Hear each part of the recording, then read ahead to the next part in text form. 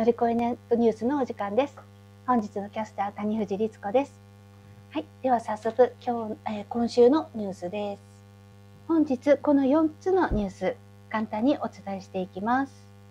まず1つ、えー、最初、性別変更の手術規定違憲、申立人側人権侵害訴え。はい。えーと、こちらは最高裁弁論ですね。性別変更の手術規定違憲。申立人側人権侵害を訴え年内にも憲法判断。生殖機能をなくす手術を性別変更の条件とする性同一性障害特例法の規定が個人の尊重を求めた憲法13条などに違反するかが争われた家事裁判で最高裁大法廷は27日弁論を開き手術なしでの性別変更を求めている戸籍上男性の申立人側から意見を聞いた。えこれ今までですね、えーと、もう合憲という形になっていたんですがここに来て弁論になりました。これあの今後違憲となる可能性が高いんではないかなと思われます。ちょっと期待したいところです。でこれに関連しましてもう一つ静岡地裁ですね性別変更手術規定が違憲であるというこちらはの静岡の地裁ですし、えー、とこちらは戸籍上が女性で男性として生活する方の訴えになりますのでちょっとあのケースは違うんですけれども流れとしてはやはりあの手術要件というのがなくなっていくんではないかというちょっと期待をしているところです。で手術要件ってなんだろうと思われると思いますので、ちょっとこちら、あの、ググってみたんですけども、検索してみました。えこれはちょっとあの、形成クリニックという、たまたま検索で一番上に出たところのホームページからお借りしてます。男性から女性への手術、女性から男性への手術っていうのは、大体どういうことをするのかなというのは、こちらをご覧いただけるとわかるかなと思います。あの極めてですねそのちょっと針を刺すとか血を抜くというところではないかなり内臓に手を入れる手術だということはこれでお分かりいただけるかと思います。これをですねあのしないとあなたは男性としてまた女性として生きられないんだよという強制することが果たして合憲なのかということが今後問われていくと思います。はい、続きましてえー、沖縄県です。辺野古の新基地建設の設計変更、沖縄県期限内の承認は困難とデニー、玉城デニー知事が表明いたしました。これにより政府側が大執行にの手続きに入ります。国と沖縄県との戦いということになってしまうんですが、これの次の弁論がですね、30日、10月30日ですね、福岡高裁に玉城理知事がここで口頭弁論述べるということになります。ちょっと注目したいですね。はい、えー、続きまして、えっ、ー、と、今回のニュースで、これ私的に一番激おこ案件です。えコロナ持続化給付金訴訟2審も性風俗業者の敗訴。えー、性風俗の業者に関して、コロナ持続化給付金を支出しないと決めた国の判断に対しての訴えです。これは一審で負け、二審でもちょっと負けてしまったんですけども、風俗営業法というのがありまして、ちゃんと法律に基づいてこの風俗業というのがあるわけです、ちゃんと。で、もちろんこの業者さんたちも税金を払ってるわけです。なのに、えっ、ー、と、国、国民のあの、理解が得られないという判断。私たち聞かれた覚えが一度もないんですよね。こんな分け隔てをしていいのかという、もう明らかな職業差別です。これは引き続き、あの、三審、えっと、えー、上告ですね、の方にも行くと思いますので、こちらもぜひご注目ください。はい、えー、続きまして、はい、こちらはちょっと明るい話題です。明るい、明るくもないか。えっ、ー、と、ヘイト投稿賠償命令。川崎市の在住コリアン女性が、えー、国へ帰れですとか、ヘイトスピーチをした人に対しての賠償が命令が出ました。これがですね、今までにない194万円という支払いが命じられました。これですね、こんな感じです。これあの、弁護士の神原先生のツイートをお借りしてます。えー、まず、祖国に帰れ。しょっちゅうあの、ツイッターなんかで見てると思うんですけども、これは不当な差別的言動で100万円です。長く在日コリアンが苦しめられているヘイトスピーチの典型ですね。で、もう一つ、この女性が言われていた差別の当たりや被害者ビジネス。これに対しても、えー、原告の名誉感情を大きく侵害ということで、70万円の慰謝料が命じられました。この番組は、あの、ね、ネット予算は見てないかもしれないですけど、こういうこと言うと100円、100万円です。祖国に帰ればもう100万円です。決まりましたので、今後は絶対やめてくださいね。で続きまして、アクティビティですね。11月19日、トランスマーチが行われます。これ、えっ、ー、と、今年第3回になりますね。年を追うごとにあの参加者がたくさん増えて、大変賑やかな昨年は第4定段ぐらい出たんですかね。はい、今年もありますので、ぜひ皆さん。11時で、えっ、ー、と、となってますが、マーチの出発は13時頃になるかと思います。ちょっと時間に余裕ありますので、ぜひ皆さんご参加ください。続きまして、マイレポートです。はい、本日のマイレポートは、ケニア、ウガンダの LGBT 難民にサポートということで、フリーウシクから上田祐介さんに来ていただきました。よろしくお願いいたします。よろしくお願いいたします。はい、祐介さんはですね、この主にフリーウシクで、ケニア、ウガンダの LGBT 難民のサポートをされていらっしゃるんですけども、先日ケニア行ってらっしゃったんですよね。はい、えっ、ー、と、9月の2日からですね、1週間ほど行ってまいりました。1週間。はい、でまず皆さん、ケニア、どこでしょう？はい、ケニア、皆さん、あの、名前はもちろんお聞きになったことあるとは思うんですけども、はい、ケニア。これアフリカの地図ですね。はい。はい、これをご覧になりますと、ちょうどここにケニアっていうのがあるんです。東アフリカに当たるんですけど、上がエチオピアで、ソマリア、下タンザニア、こういうところにあるんですけども、はい。でえ今回いらしたのは、はい。ケニアのどの辺えっ、ー、と、ケニアのナイロビとその周辺ですね。はい。はい地図はありますか、えっとですね、これがケニアの地図なんですけども、これちょっと英語になってますけども、えー、ケニアの、これがですね、インド洋、こちらがインド洋で、えっ、と、ナイロビがですね、ちょっとね、あ、ここですね。ここがナイロビになります。で、あの、第一交代っていうアフリカ大陸を何千キロにわたって、えー、縦にある、えっ、と、大きな谷があるんですが、第一交代っていうんですけど、そのちょうど上に当たるところで、はい、えっ、と、標高が1800メートルのところにあります。なので、赤道のすぐそばなんですけども、まあ、暑からず寒からずという感じのところですね。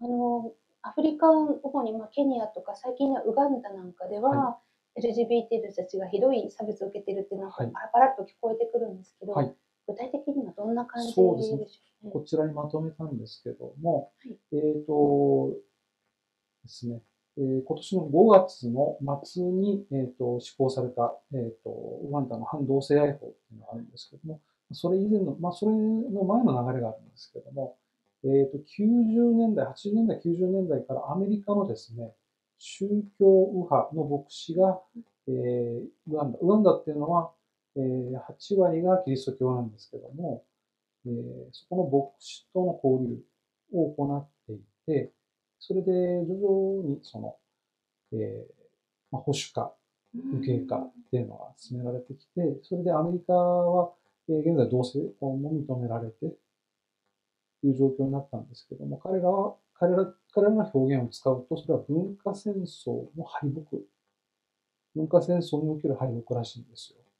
それで、えー、新たな場所を探さなければならない。新天地を探さなければならない。ということで、えー、その中の活動家の一人が、えー、バルト三国のラトビアに本部を置いて、そこを中心に、えー、反同性活動をえー繰り広げていくんですけれども、その一つがロシアであり、ポーランドであり、ウクライナであり、えーハンガリー。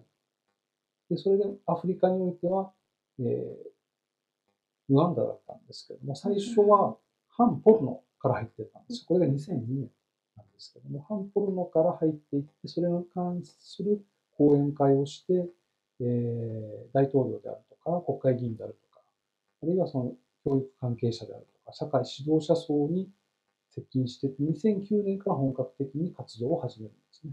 反同性愛の活動を始めて、えー2014年にですね、え1回目の反同性愛法というのが通りまして、でそれで、えー最高刑、最初はですね、死刑っていうことになってたんですけども、えー大統領が一度、えーと拒否権を使って少し内容を修正して、えーこの重度の同性愛、重度って何みたいな感じですけど、重度の同性愛は無期懲役っていうことになって、それが施行はされたんですけども、国際社会が非常に強い非難を浴びて、で援助を引き上げられたりとか、えー制裁を受けたりとかしたんですけども、えーウガンダ国内の人権団体が、えー無効化のための法えーと法廷闘争を行いまして、でそれであの法が成立する際の、えー国会議員の数が足りないということで、最高裁が無効であるという判断を下したんですね。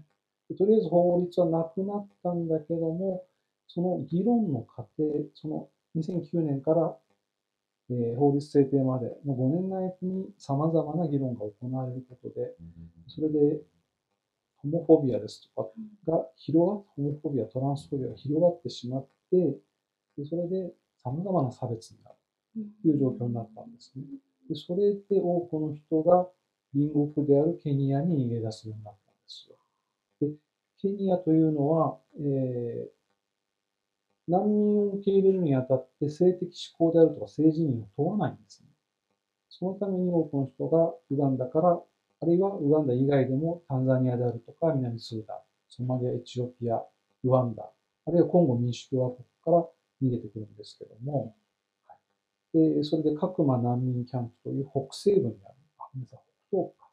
違う、北西部ですね。北西部にある、えーと人口20万人ぐらい、20万人ぐらいの難民がいるころに収容されるんですけれども、そこは、えーとヘイトクライムが、えー多発しているようなところで、難民同士が、難民が難民を襲うみたいな。とか、あと、LGBT の難民が商売をしてて邪魔されたりとか、えー襲われたり、火をつけられたりとか、で、そういう状況を変えようとして、えー難民キャンプは世界初めてのプライドパレードが、えーと確か2010何年だったか、2018年だったかな、に開かれたりしたんですけども、えーと結局ですね、えーと2018年に、えー多くの人がナイロビに移住することなんですよ。UNHCR の支援を受けて、ナイロビに、えー移住することになるんですけども、でそれでも、角間には、角間難民キャンプには多くの人が残っていて、ヘイトクライムは続く。そして、2023年にウガンダで再び反同性愛法が成立してしまったんですけども、これが結構ひどくてですね、えーまあ、性行為をした場合は終身刑。こんな見てるんですかね。ね。で、実際すでに起訴されてる人もいるんですよ。でそれがすごく皮肉なのが、えーこの法律を作るにあたって、えっ、と、寄与した、えっ、と、元同性、元同性愛者ですね。元同性愛者と、えっ、と、自称している人が、えー捕まっちゃったという。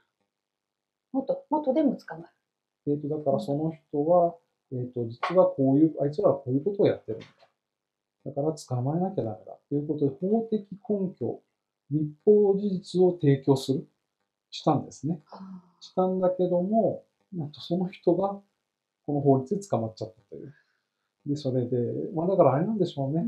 あの、反対運動がしづらい人をあえて使ってるのかな、みたいな感じですよね。でそれで、まあ、成功で終身刑で、未遂は7年以下の懲役。これ、さらに、えっ、とですね、えっ、と、同性促進。これを過去人権擁護ですとか、そういう、まあ、新井のグループであるとか、人権擁護活動であるとか、それに対しては20年以下の懲役。いやー、ひどあと、それと不動産を貸し出したら、懲役7年。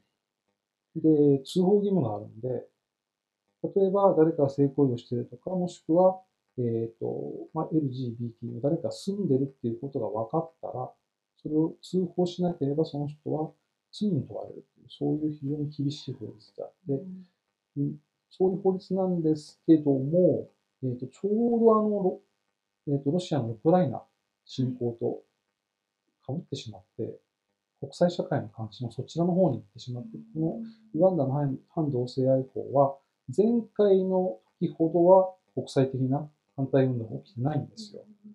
で、それ、でもまあ、世界銀行が、えー、と援助を停止したりとか、制裁は行われています。でそれで、えー、と、この法律が通ったことによって、さらに、えー難民キャンプに逃げてくる人が増えたみたいで、でそれで、えーまあ、家から追い出される。家主から追い出されて家を失う。で、職を失う。で、ホームレスになる。で、それで余裕がある人はケニアに逃げる。お金持ちはイギリスに移民する。で、それすらない人はもうホームレスになって暮らすしかない。そういう状況なんですね。で、あの、家族に暴力を振るわれたりとか殺されそうになったり、あるいは、えーこれはウガンダだけではないんですけども、えっ、と、モブジャスティスと言って、まあ、訳せば民衆の正義っていうんですけども、えー何か問題を起こした人を、えーと警察の力ではなく自分たちがやっつけてしまおうという。え、リンチじゃないリンチなんですけども、これはまあ日本でも、でちょうどね、9月2日に行ってたんですけど、ええ。ちょうど日本のことが思い出されて、100年前のことが思い出されてうん、でそういうことが起きてて、えっ、と、ちょっとここではお見せできないような写真の状況の、たとまあ、あの、焼き殺されたりとか、あと刃物、この大きな刃物、マチェマチェッテって大きな刃物があるんですけども、それで、えっ、と、顔を刺されたりとか、結構ひどいことが行われて、あとそれと何十人に取り囲まれて、まあ暴力を振るわれたりとか、そういうことが起きてるんですね。生きていけないですよね。そうで。すね。であのー今年の3月でしたっけね、あのはい大阪地裁で、えっと、難民認定あ、不認定を、えっと取り消して難民認定をしなさいという判決。ウガンダの女性そうですね、ウガンダの、えっとレズビアンの方だったんですけども、その人の場合は、警察署に手配書が張り出されたという、そういうお話をされてたかと思います。そういう状況で皆さん、はいまあ、ケニアに逃げるんですけども、ケニアに逃げても、あまりいい状況とは言えないですね。で実際そのケニアでご活動されているところを今回ご覧になってきたということで、はいちょっとそのそのお話を伺いたいんですけどはい。えも、ーとですね、どうしましょうかね。あ、この辺全部書いたけど。あ、モブジャスティスは。で、それでですね、まあこのように、えーとですね、ナイロビ郊外に、えーと、僕がやったんではなくて、難民自身がシェルターを作って、まあ、家を借りて、で、そこに、えっ、と、25人から35人、実際はですね、もっと多いんですよね。40人超えてっちゃってるのかな。で、それで、今、今3軒に増えてるんですよ。一軒家と、えっ、と、マンション、えっ、と、2個ですね。で、それで、えーそこに、えー40人ぐらいが住んでるんですけども、えー中には、えっ、と、シングルマザー、シングルマザーでちょっとあの、セクシュアルオリエンテーションははっきりわからない。あまりその境界線が明確ではないようなんですけども、でそういう人たち、まあ、LGBT の人たちが固まって住んでて、でそれであの、ずっとあの、何もせずに、とりあえずそこに住んでたんですけども、ケニアというのは、働かないことに対する風当たりが非常に強い国で、まあ日本もそういうところありますけども、えー働かない外国人が、えー固まって住んでいるというだけで、非常にやっぱ攻撃される、唾を吐かれたり、暴言吐かれたりとか、そういうことがあるんですよ。でそれもそうだし、働かずにいると、自己肯定感がどんどん下がっていくんですね。で、それをどうしようかっていうことで解決策として出したのが食堂ですね。食堂をオープンして、でそれで、えー、そこで食を提供して、食ですね。仕事の食と食べる食。両方ですね。両方ですね。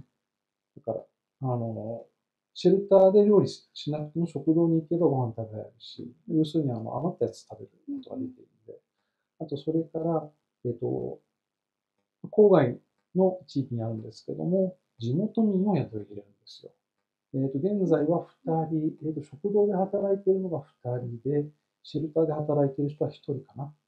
で、それで、えっ、と、何、なんでかというと、地元経済に貢献するということは、えー、評価が上がるっていうことにつながるんですよ。ね。孤立しないですよね。そうですね。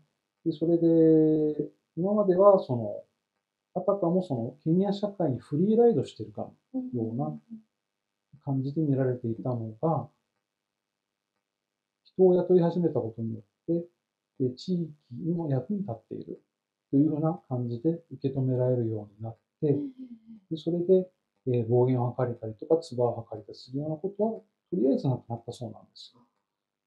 ただ、まだ完全に認められたわけではないんだけども、えっ、ー、と、まあ、接客であるとか、そういうことを通じて、自分たちはこういう人たちなんだ。別に角も生えてないし、普通の人間なんだっていうことを地元の人たちにと接することで分かってもらうっていう、そういう意味合いもあって、で、なおかつ、そのシェルターの運営費ですとか医療費ですとか様々な、まあ、うん十人もいたらお金かかりますよね。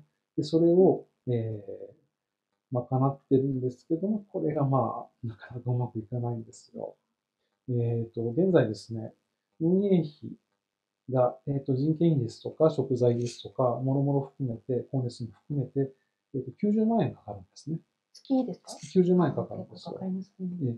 で、それで、えっ、ー、と、それで、えっ、ー、と、食堂の儲けが月9万円なんですよ。全然足りない。いや、でもね、これ10%儲かってるって、まあ、日本の飲食業の人からすると結構儲かってる方らしいんですよ。と聞きました。ね、ね、ただやっぱ9万円、あの、皆さん結構、アフリカだから物価安いでしょと思う人結構いるんですけど、実は、えー、そうではなくて、製造業が発達していない国ほど物価が高いんですよ。製造業が同じアフリカでも、例えばエジプトとかは、給料は、給与水準は低いけども、製造,、えーと、製造業がすごく発達しているので、物価が非常に安いんですね。しかし、そのケニア、ケニアはまあまあ、あの、ある程度あるんです。進んでるんですけども、製造業が発達していないところでは、かなりの物資を輸入に頼らなきゃダメで、でそれで物価が非常に高くなるんですよ。だから、野菜とかは安いんですけど、それ以外のものが高かったりして、それで、えーと、ちなみにですね、ここの食堂は、えーと、客単価は大体300円ぐらい。一食、一食ランチとか300円、お茶飲んで、さらにそこにプラス50円とかそれぐらいなんですけども、ナイロビの、まあ、港区みたいなところがあるんですけども、港区そこに行くと大体一食800円から1000円。で、ファストフードも大体1000円、900円、1000円ぐらいするんですね。日本と同じぐらいですね。そうですね。で、バスチンも郊外に行くやつは100円ぐらいかな。結構しますね。えー、だから、家賃はちょっと安いかなと思うけど、物価はかなり高いですね。でどうやって暮らしていけるかなっていうのを思うんですが、あとそれ医療費ですね。病気が非常に多くて、えー、でそれで、えっ、ー、と、それもそうだし、まあ競争があるわけですよね、食堂なので。それで、やっぱ経営が必ずしも、そのなんていうの、その店だけに来るわけではなくて、まあ、他の店に行ったりとかもするんですよ。例えばですね、えっ、ー、と、ケニアでは、えっ、と、プレミアリーグ、サッカーのプレミアリーグがすごく人気なんですけども、えっ、と、そうですね。えっ、ー、と、なんだったっけ。アーセナルとマンチェスターユナイテッドのゲームとかとか、本当に人が溢れるらしいんですけども、それを見てもらう。えっ、ー、と、ケーブルテレビに入ってみなきゃダメなんだけど、そうすると月々5000円ぐらいするので、それは無理だから、食堂とかカフェに行ってみるんですけども、それで、スポーツバーみたいなそうなんです、感じですねそうなんで。す。で、それで、えっ、と、50インチのテレビを買ったんですよ。そうするとお客さんがいっぱい来るようになったんだけど、近所の店が65インチのテレビを買ったんですよ。そうするとそっちに行く人が増えちゃって、うちもやり返さなきゃってるんだけど、やっぱりなかなかその資本がないので、うんできなかったりするんですよね。そう。で、今、えっ、と、月々9万円、1日あたり3000円なんですけど、儲けが。えっと、純利益ですね。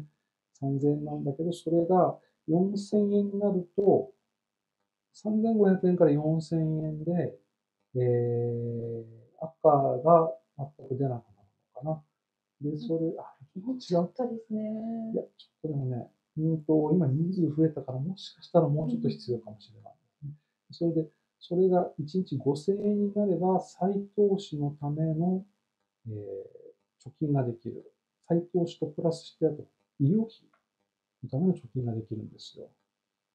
医療費が結構かかるんですね。ってな感じですね。はい。えっ、と、じゃあちょっとあの、お写真も見せていただけるということで。はいはい。えっ、と、これがレストランですね。これホホテル。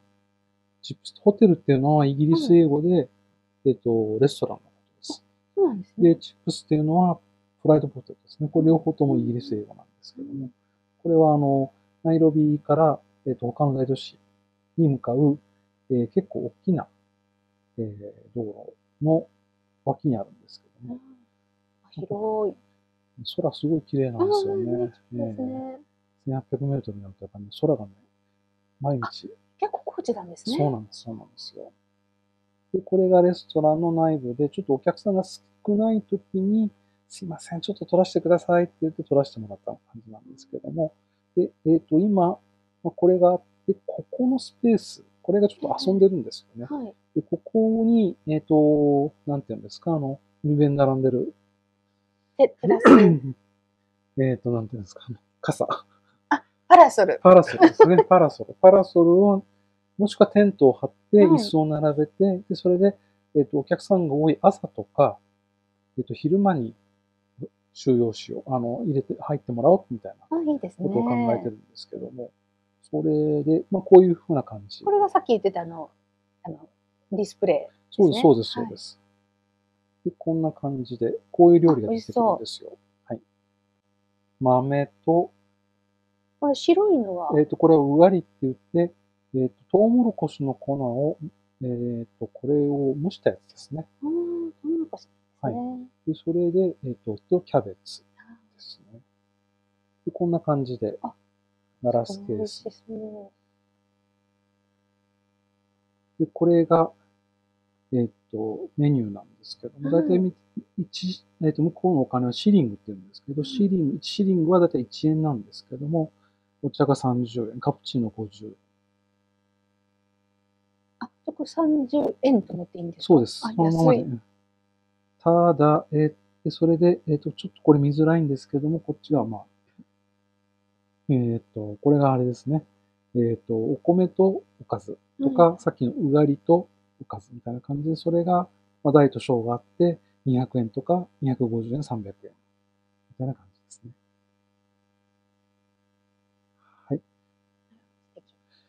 えっ、と、これがですね、か彼が、えっ、と、マンダージーって言って、マンダージーはサーターアンダギーですね。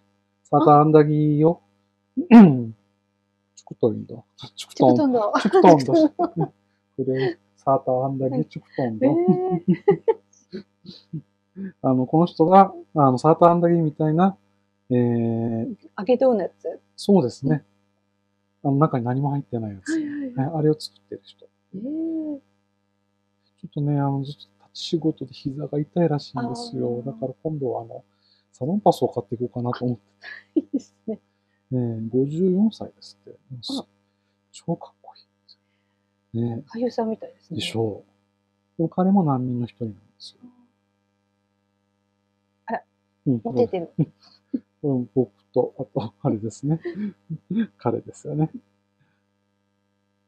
で、彼はエヴァンスって言って24歳なんですけども、えっ、と、ウガンダから来たんですけども、えー、何をしているかというと、うん、これ、平屋地チュクトンド。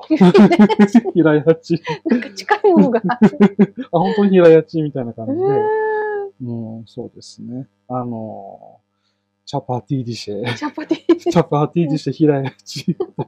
なんで、なんで食文化近いんですかいや、ね。違う。これインドから来たです。インドから来たです。あの、で、それで、えっ、と、彼は、えっ、と、お母さんが再婚したんですけども、あ、お母さんが再婚か、お父さんが再婚だったかな。あ、そっか、お父さん、お母さんだったかな。で、あの、ママ母から、えっ、と、家であることで、やっぱ迫害を受けて、うん家から追い出されちゃったんですよ。うん弟と一緒に追い出されちゃって、で、それで、えっ、と、何ヶ月って言ったかな？何ヶ月か前に、えー、ケニアに逃げてきて、でそれで今ここで働いてるんですけども、それで、えっ、と、平屋地、なん、なんて言うんですかね。ですかね。平屋地、うんと、縮みの何も入ってないやつだ。ね。えっ、と、平屋地を作って、それを、そこに野菜、えっ、と、トマトと玉ねぎをみじん切りにして、それで、そこを卵を入れて、くるくるって巻いたやつ。で、ローレックスって言うんですよ。ローレックスっていうのを作って、で、売ってですね。これちょうど入り口なんですけど、彼は、えっと、24歳のエヴァンスっていう人ですね。で、こんな感じで、今これアースの versus マンニューみたいな感じで、こういうのは all football matches available。でこれで、これを見て、みんな、お客さんが来ると。そうです。そうすると、一杯30円、40円、50円。だけども、お金がちょこまかちょこまかと。うん。で、あの、さっきの、えっ、と、サーターアンダギー。あれは、えっ、と、一つ10円なんですよ。安い。で、ローレックスはもうちょっと高いです。100、100円だったかな。うんで、そういうの食べてくれるんで、それでちょこまか、ちょこまかお金がかかる。うん。これが、50インチの、50インチのテレビですね。で Wi-Fi があって、これを65インチにしたいとか。うんあ、かわいい。ここからはシェルターにするんですけど、えっ、と、シェルターは、そうですね、大体、えっ、と、食堂から歩いて5分か6分かそれぐらいですかね。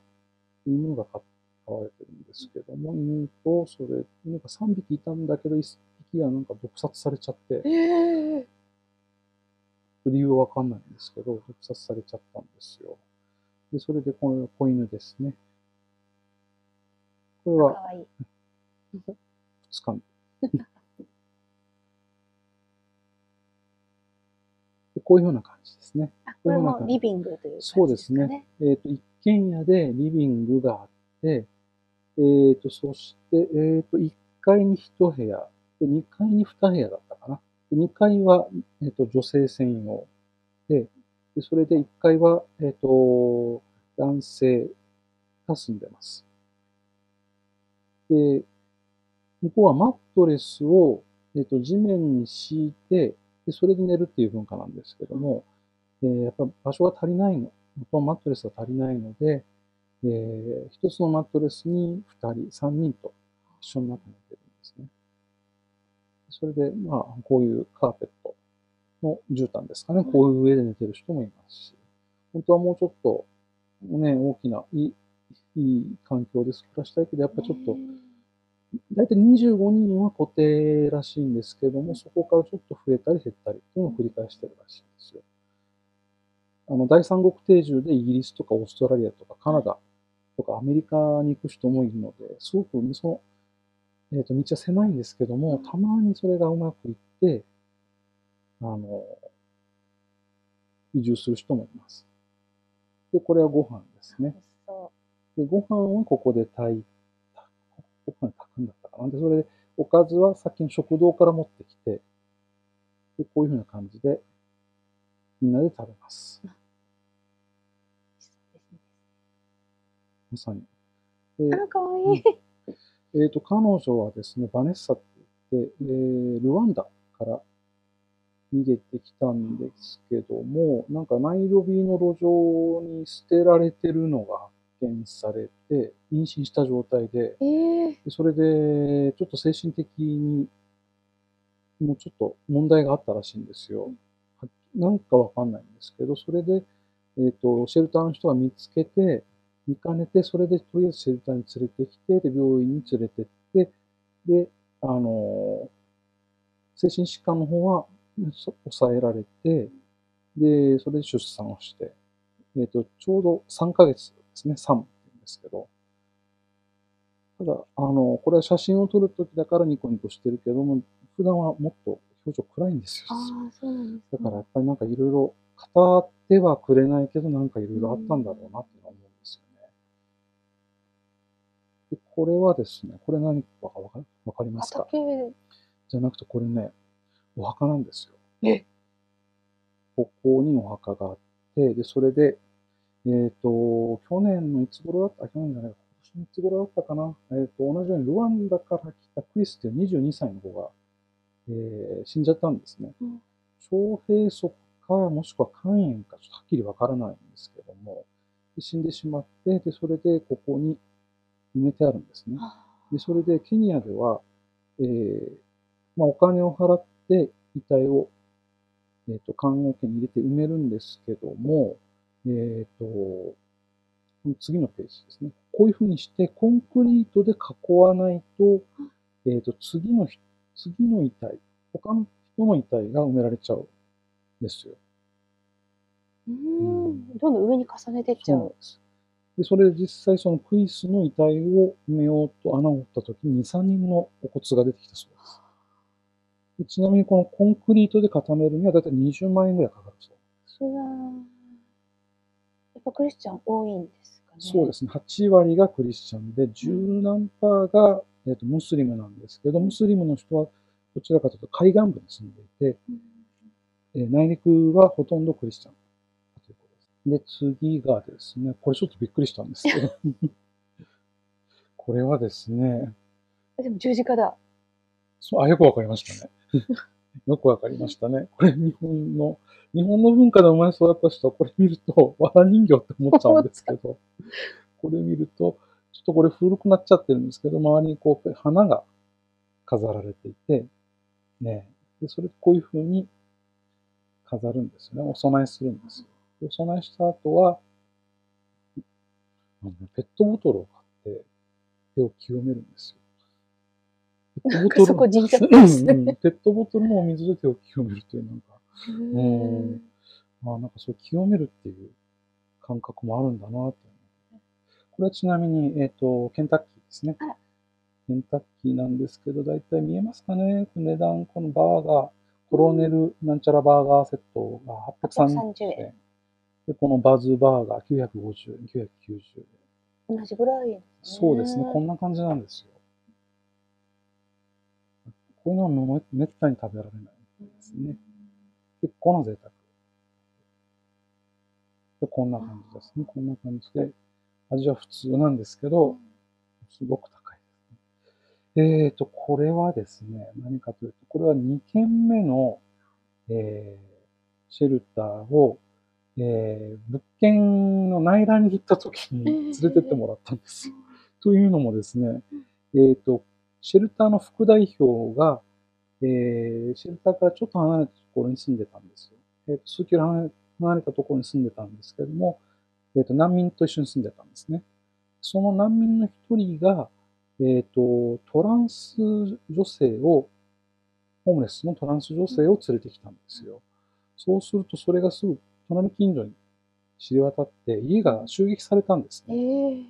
ーで、それで窓ガラスが割られて、家に火をつけられそうになって、で、とりあえず、ま、あの、荷物も全部置いて逃げ出したんですけども、それで保証金は没収されて、もうすぐに出てってくれひどいで、そういうことがやっぱあるんです。トランス、LGB の場合は、えっ、と、普通に歩いてるだけではわからないんですけええど、トランス女性の場合は、存在するだけで分かってしまう。もちろんパス上によって人によって違うとは思うんですけども、分かってしまってすぐに、あの、迫害の対象となるんですね。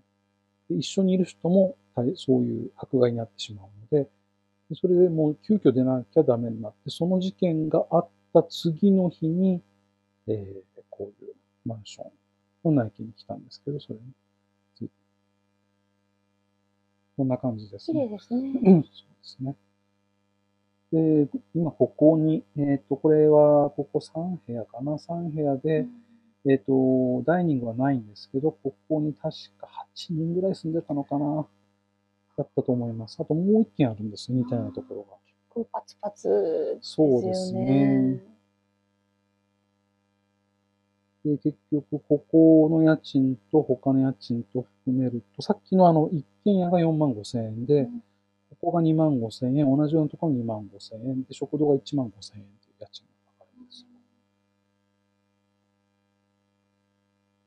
これはあの、買い出しですね。普段はあの、大きなあの、卸売の、まあ、業務スーパーみたいなところに行くんですけども、えーとちょっと、あの買い足すときとかはこういう市場で買うんですよ。でこんな感じ。えー並んでるものはね、ほとんどね、えっ、と、中国製のものが多いですね。中国製のものとケニア製のものが多いですね。あと、インド製かな。で、高いものは、えっ、と、UAE とか、UK とかあですね。で、これはお野菜ですね。お野菜、トマト。本当にトマトをいっぱい食べるんですね。トマト。で、3つで20円、4つで20円みたいな感じで。ちっちゃいんですよ。小ぶりで。あと、あの、これは野菜として食べるバナナとか、あと、まあ、パセリとか、いろいろあるんですけども。ちなみに彼はちょっと顔出しができないので、こういうふうな感じで、えーモザイクかけています。あ、なんか、こんな、こんな T シャツを着て、ね、こんな T シャツを着てご飯を食べてますね。まあ、ど、ね、どこの誰ですかね、本当ね。すごい量ですね。ね、もう炭水化物攻めよねで、。えーと、この次かな？あ、違う。違う。あ、ここで見た方がいいですね。えーとですね、トウモロコシ、トウモロコシの粉、うがりですね。マトウケって言って、バナナを蒸したやつ。それから、ヤムって言って芋。それから、えっ、と、これがロローレックス。平屋地ですね。平屋地を巻いたやつですね巻いたやつですね。でこれはナイルパーチって言って、えっ、と、去年まで日本では鈴木というな、鈴木の名前で、えっ、と、くるくる寿司で出ていたものらしいんですけども、白身魚で美味しいんですよ。でそれをスープにしたやつ。それから、えっ、と、唐辛子ですね。唐辛子はちなみに、スワヒリ語ではピリピリって言います。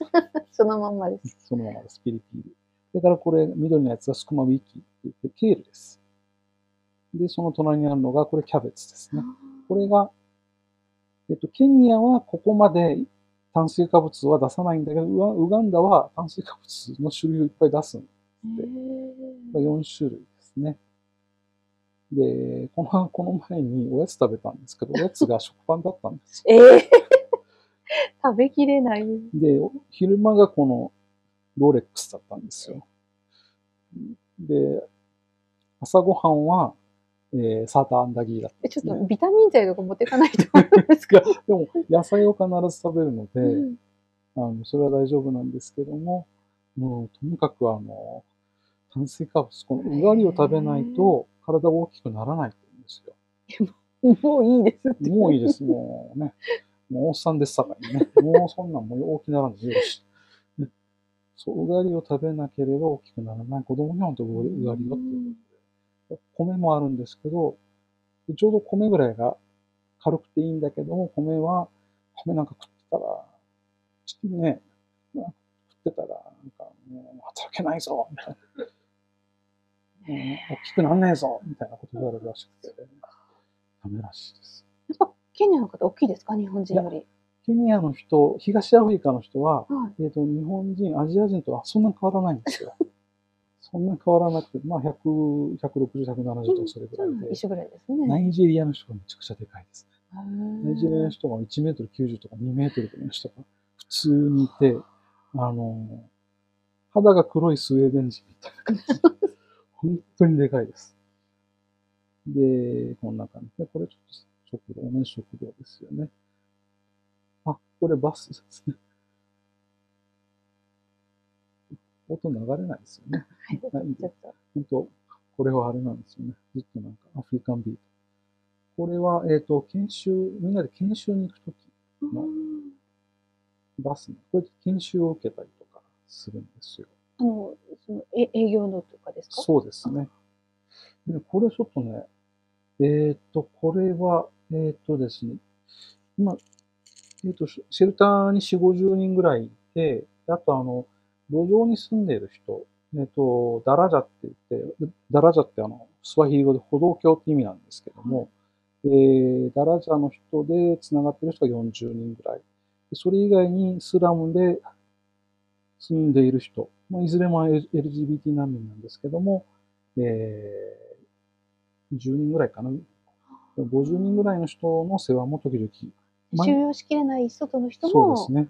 お世話をしている。はいで、時々救援要請が来るんですけど、うん。これも救援要請が来て、でそれで直接見に行ったんですけども、うん。あの、こんな、えっ、と、こういう環境で暮らしてるんです。あの、えっ、と、テントですね。テントで、で、それで、あの、下がもう、あの、水が、水はけが悪くて、で、あの、虫とか、いろいろいて、で、もう悪臭もしてすごい状況だったらしいんですけど、うん痩せちゃってますね。足が細い。ただこの人と、確か4人ぐらいいたかな。この人は一応面談して食料は届けたんだけども、最終的には援助はしないってことにしたんですよ。うんでなんでかというと、えっ、と、ちゃんと、その、シェルターの人が行って、えっ、と、少しのお金と食料を渡したんですけど、別の人に対して何ももらってないと嘘をついたんですあね。ーで、嘘をつく人は必ずまた嘘をつくっていうことで、嘘をつく人はすごくダメっていう扱いされるんですね。それで、この人たちは一回援助しただけでも前に行かないっていう判断を下したということです。ちゃんとした人じゃないとやっぱ信用できない。うんそうですね。そう、嘘をつくっていうのはすごく悪いこと、ものすごく悪いことという扱いになるみたいです。これはですね、これはシェルターの畑ですね。あ一体そうな栽んです培ですね。こういうふうな感じで、えっと、お水と土地をうん節約して、はい。でそれで、そうなんですよ。で、先日は、えっ、と、オラムという、オラムとハイアスっていうアメリカの、えーと支援団体の研修を受けて、でそれでさらに効率的農業を進める研修を受けて、ちょっとだけ援助金をもらって、さらに畑を大きくしたそうです。で最終的には食堂で使う、えー野菜のある一定部分はここで賄いたいと。いいですね。これはあれですね。これも畑ですね。今これ植えたばっかして、これは何かなこれ多分スクマウィキ、あの、ケールだと思うんですけど。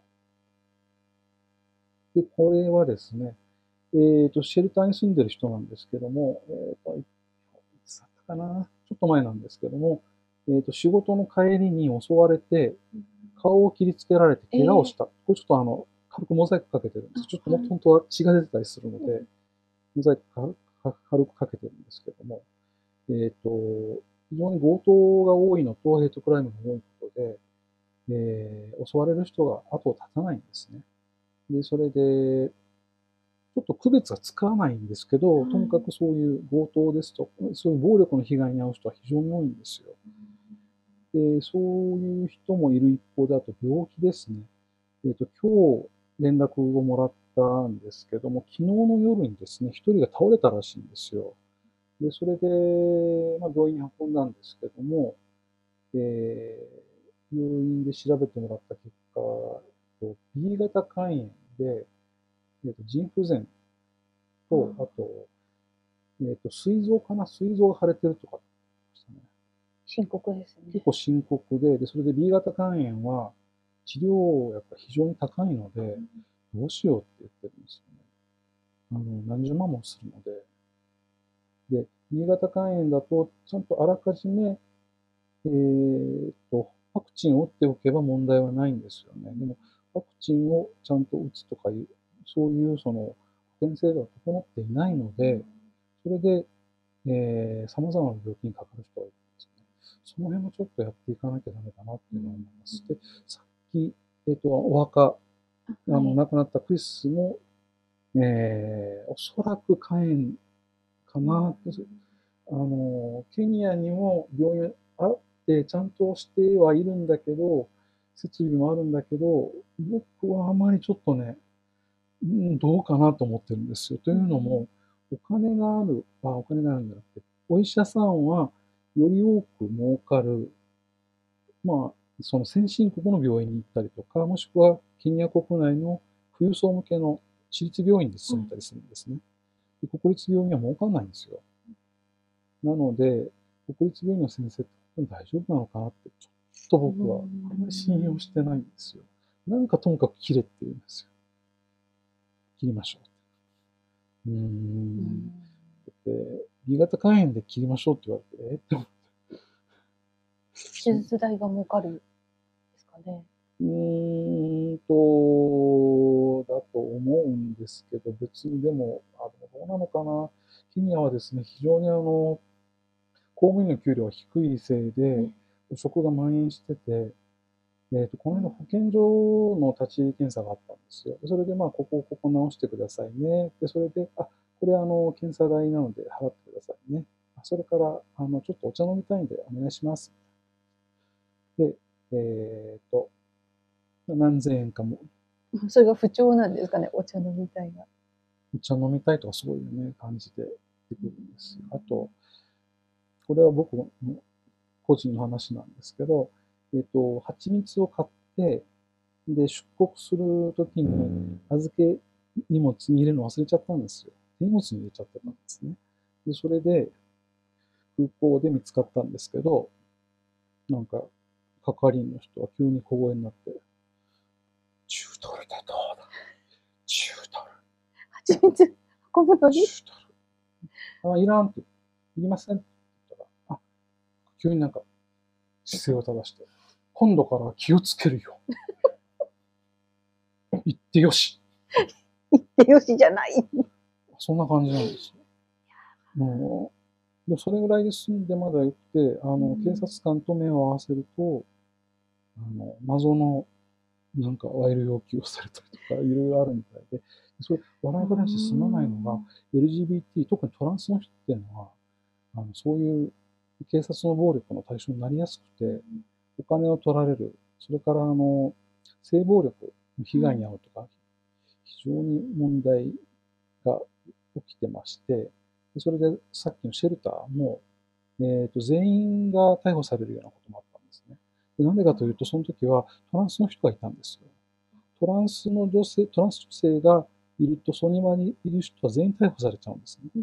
でそれで、えー、と一人当たり数千円から数万円の保釈料を出させるんですね。取られるんですよ。でもしトランスがいなければ別に問題はならない。問題にはならないんです。なので、本当にも、本当に申し訳ない。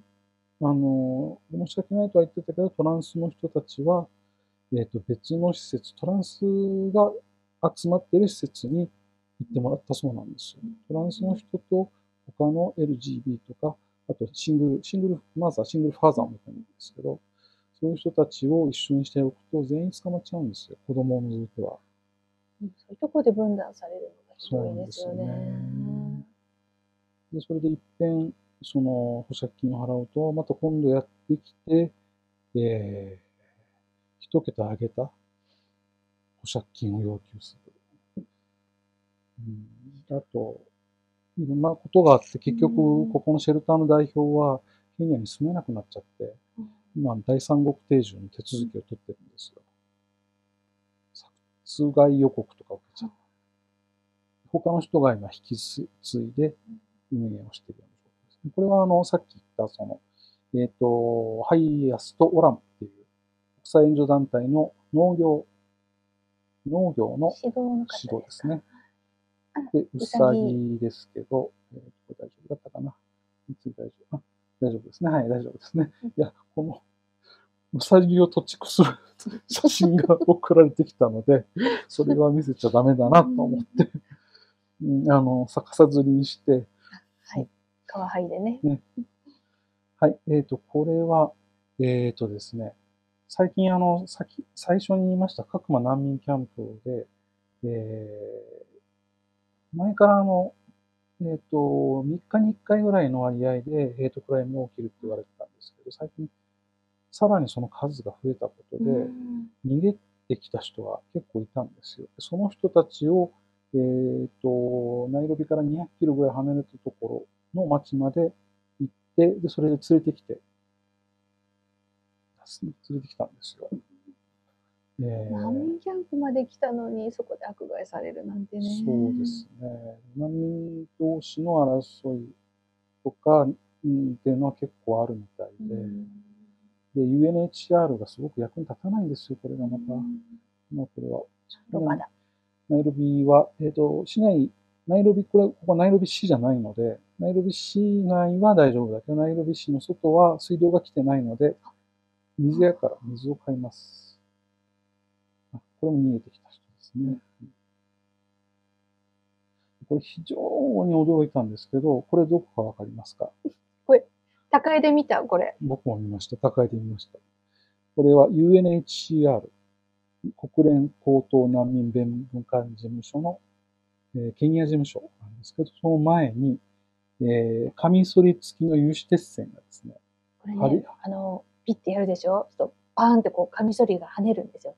これ兵器ですよね。そうですね。今、あの、みんなあれですよね。なんか、あの、切る技術を開発して、ね。切ってましたね。ま切ってましたね。はい。ね。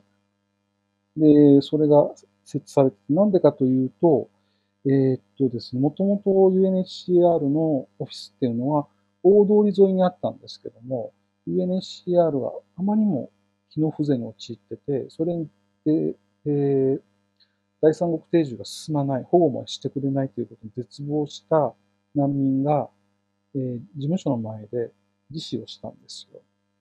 で、そこは大通り沿いだったので、えー、見てくれが悪いってことで、ケニア政府、すごいケニア政府に、えー、気を使ってるんですね。それでこっちの方に、ちょっと裏通りに移ったんですけど、ここでもやっぱり自死っていうのがあって、で、ここには、この有刺鉄線があるところには、えっ、ー、と、難民主に LGBT 難民が100人ぐらい寝泊まりしてたんですけども、えー、目障りだってことで、有刺鉄線を張って追い出しちゃったんですよ。この人たちは、あの、助ける団体そうです。ですよね。UNHCR は助ける団体なんですけども、えー、その国の政府にかなりやっぱ気を使わないと活動ができないっていう部分があって、その致し方ない部分もあるんでしょうけども、UNHCR の、えー、に対するえー、なんていうんですか、文句というか、いうかもう、すごくみんな怒ってますね。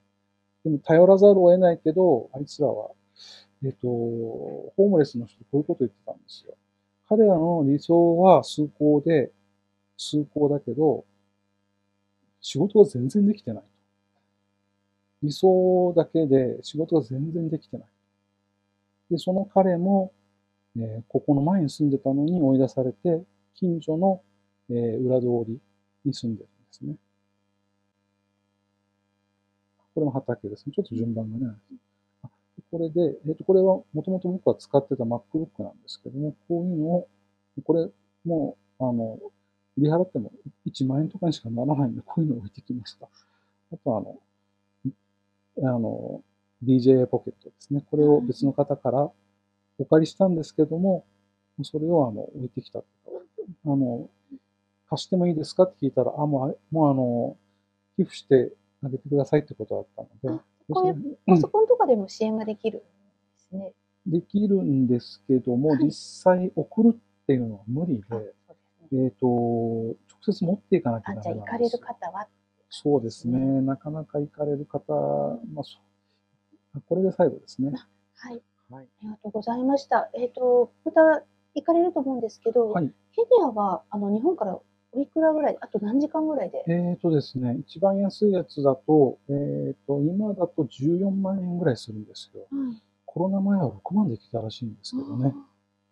けど、まあ今、日本、円安が、円安とあと、石油が高いので、えー、それで大体14、最安値で14万で。でも14万でいくんですね。もっとすごく高い、高くてものすごく遠いイメージがそうですね。まあ、遠いには遠いんですよ。あの、日本から行く場合は、えっ、ー、と、僕が使ったのはエチオピア航空で、でそれで成田発でインチョン経由でアジスアベバで、乗り換えて、で、ナイロビに行くんですけども、で、インチョンまで2時間ですよね。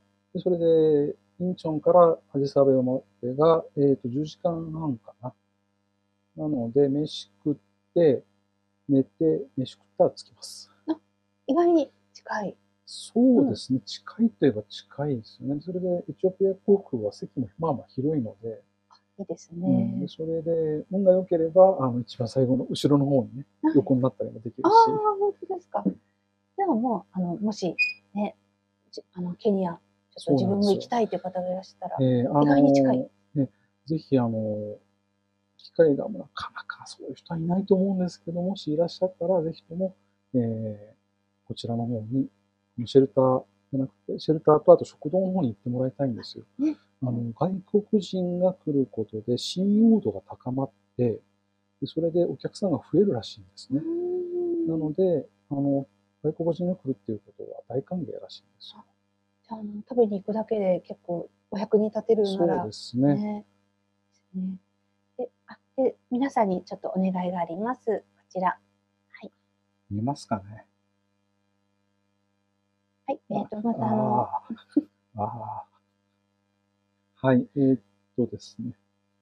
はい、えー、っと、はい、私たち、えー、っと、もともと個人でやってたんですけども、はい、えー、それが、えっと、ちょっと限界に達して、でそれで僕はフリーウシクのメンバーということなので、フリーウシクの皆さんに測って、でそれでこちらの、こういうフリーウシクの枠を借りて、でそれでやってるんですけども、うん、なかなかやっぱ難しいなっていうのは思いますね。もともとフリーウシックっていうのが入管法、入管制度に対する、そういう、えー、活動をする、えー、団体だったので、いきなりケニアって言われても、は？って思われる方もまあいらっしゃると思うんですけども、ね、でそれで、えっ、ー、と、とりあえずフリーウシックでのキャンペーンは今年いっぱいで、来年からは新しい団体を立ち、団体というかグループですかね、立ち上げて、そこでやりましょうっていうと、それとプラスして、えっ、と、これ、もともとあの、えっ、と、過去、え、8年間ぐらいかな、韓国と日本をつなぐ活動、あの、プライドパレード、クイアパレードに行って参加して、ね、サポートするといろいろやってたんですけども、今までは日本から韓国に行ってやるっていう形だったのを、日本と韓国、さらに台湾っていう、その東アジアの3つの民主主義国が特に台湾はね、あの、同性婚が認められてるじゃんね。ねそういうところを含めて、みんなで、あの、売ってたかってサポートしようという、うん、そういう構想を持ってます。はい、で、今回初めてこのような形で YouTube に出演させてもらったんですけども、韓国でも、えっ、と、講演会ですとか、あと YouTube の出演とかいろいろ考えておりますし、台湾は中国語はそんな、こんな喋る ほど喋れないから、あれだけど、うん、台湾でもなんかできたなと思ってます。で、えー、とりあえず必要なのはお金なんですね。お金が、えっと、まあ、医療費と、あとそれと時々足りない食堂の運営費ですね。それが、えー、やっぱ必要なので、本当少しでも、あの、お振り込みをいただければ非常に助かります。ちなみに、あの、僕がケニアに行くときの渡航費ですとか、そういうのは一切ここから出てません。ケニアに行くときは自費で行ってます。これは、あの、シェルターの方々への支援金となりますので。そうですね。シェルターの方々へのお金なので、それで、そうですよね。90万、月90万かかるって、本当最初聞いたときびっくりしたんですけど。うん、よく頑張ってらっしゃいますよね。そうですね。ていうか前の元々のリーダーっていうのは、帳簿をつけてたけど、あの、見せてとは言ってなかったんですよ。今のあの実質のリーダーは見せてくれるんですね、普通に。それで、見せてもらったら90万って言われて、ほんとびっくりした。そんなにかかるの？